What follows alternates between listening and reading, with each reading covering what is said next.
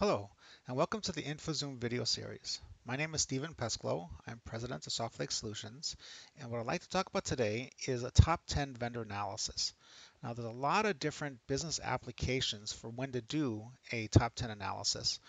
Um, obviously, in audits, where we want to know where our money is going to our vendors, we want to see the top vendors that we are that we do mostly business with um, but also from procurement. So if I wanted to do like a, a volume discounting with our vendors, we can identify our top vendors that way. Sales analysis to identify where we're getting our products from. Um, uh, but in this case, we want to do is, uh, from an analysis perspective, the first thing we want to do is we want to determine the criteria that you want to use. Typically, we're using something like an invoice amount, a PO amount, or something like this uh, we go ahead and select our vendors, our top 10 or top 15, whatever you like to do. And then we go ahead and create our final product in either as a dashboard or some sort of report. So the first thing you do in InfoZoom is you bring in your data, and we have a video that describes how to import this data. Um, I would go then to start and then do an overview.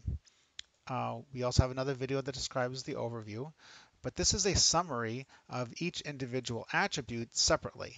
So here's a nice stratification of age, vendor amounts, invoice amounts, etc.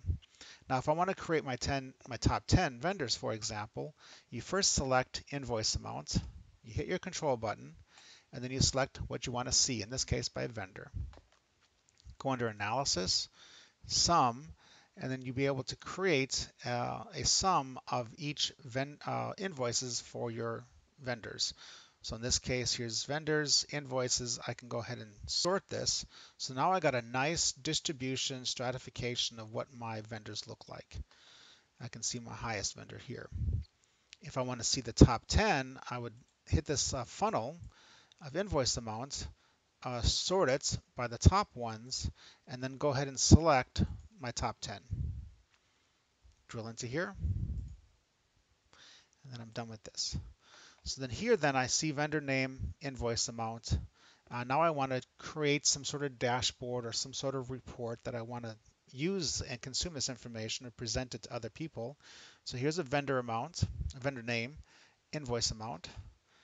Go under results and then create a chart.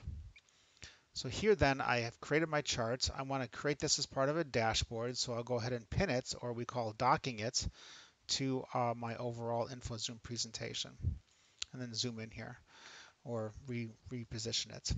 So now what I like to do is I like to provide additional information that might be helpful. So in this case, I might use something like a transaction type and do a chart of this and graph that. And then I can pin that or dock that to my overall dashboard as well.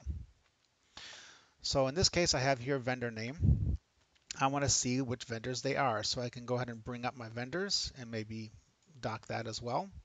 So then I can see then this is alphabetical. If I want to see the overall number of transactions, I can see that my third one, my highest one here is Phillips with 107. But in this case, uh, that vendor turns out to be third in my overall invoice amount. So it's a nice uh, additional information you're getting, not only the overall invoice amounts, but then also the overall volumes of transactions you're doing with that vendor. Uh, also very important, you want to make certain to be able to bring this out to something like Excel. Again, same idea, select this here, create your report in Excel, and uh, then reposition it. So here's the, the, my top one is on the bottom. If I want to go ahead and resort it, I can go ahead and resort it here. And then my Excel is automatically updating and positioning my number, for, number one vendor on top. So if you have any questions, please let us know. Um, uh, we're here to help. Uh, your InfoZoom analysis. Thanks.